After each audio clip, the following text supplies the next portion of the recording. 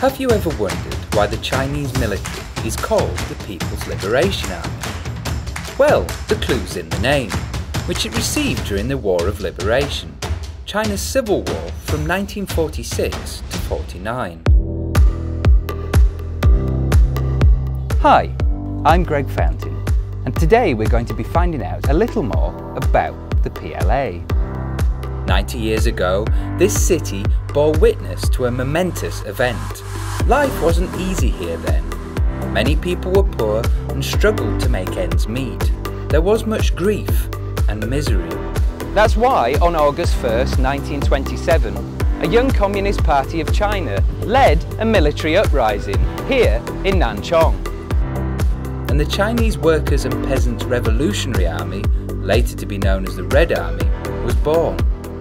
This army soon swelled in size as people from across the country flocked to join its ranks. It played an important role in the nation's victory over Japanese invaders who occupied northeast China for about 14 years from 1931. This is Yangzhuan, where the army built a network of these hot, cramped tunnels so that they could launch surprise attacks against the Japanese.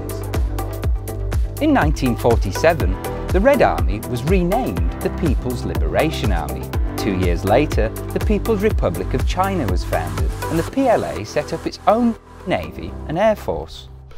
Over the decades that followed, the PLA has looked to modernise further and strengthen its capabilities as a fighting force, meaning that today it can boast a range of domestically developed tanks, aircraft and ships, replacing the need for imported armaments.